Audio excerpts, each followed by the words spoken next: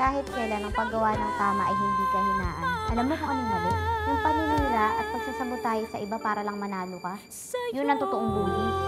Lilet Matias, attorney at law, 3:20 p.m.